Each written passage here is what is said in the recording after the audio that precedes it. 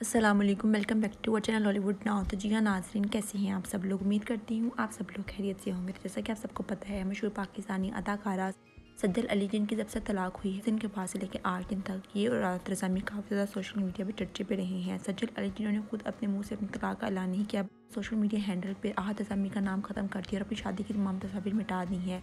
उसके बाद जाके इनकी कन्फर्म हुई है डेफोर्स आहत रजामी के साथ आहत रजामी ने भी अपने सोशल मीडिया के अकाउंट से सज्जल अली के साथ तमाम पिक्चर्स हटा दी हैं। सज्जल अली अपनी तलाक के बाद सोशल मीडिया पर इतनी दिखाई नहीं दी और ना ही उन्होंने इस बारे में कुछ बयान दिया। फैंस इसी बात के लिए काफ़ी ज़्यादा परेशान थे कि आखिर सज्जल अली किस हाल में है? सज्जल अली की सास ने भी सोशल मीडिया पे फैंस को यही जवाब दिया था कि इन दोनों के लिए दुआ करें क्योंकि इन दोनों का ज़िंदगी का बहुत ही मुश्किल लम्हा है। बहरहाल आपको बताते चलें सजल अली अपनी तलाक के बाद पहली दफ़ा दिखाई दी हैं। अपनी बहन सबूर अली और अपनी बेस्ट फ्रेंड सादिया गफ़ार के साथ तारी अटेंड करते हुए और अब वो सहरी भी इकट्ठे रख रही हैं। इनकी वीडियो जैसे सोशल मीडिया पे आई है, आते साथ बहुत ज़्यादा वायरल हुई है।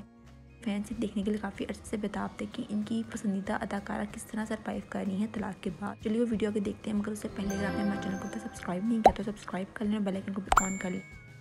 तो जी हाँ नात जैसे कि अपनी स्क्रीन मुलाजा कर सकते हैं। सादी गफ़ार और सज्जल अली सबूर अली के घर इकट्ठी हुई हैं और सबूर अली ने इन्हें सहरी भी करवानी है और ये वीडियो आप देख सकते हैं कैसे अपनी सहरी का अहतमाम कर रहे हैं। इसी दौरान सादिया गफ़ार और सबूर अली उछलती हुई आई हैं, जैसे कि अपनी स्क्रीन में मुलाजा कर सकते हैं और सज्जल अली भी काफ़ी खुश दिखाई दे रही थी। दुआ करते हैं कि सज्जल अली आने वाली नेक्स्ट ज़िंदगी में भी ऐसे ही खुश रहें और हंसती हंसती मुस्कुराते रहें।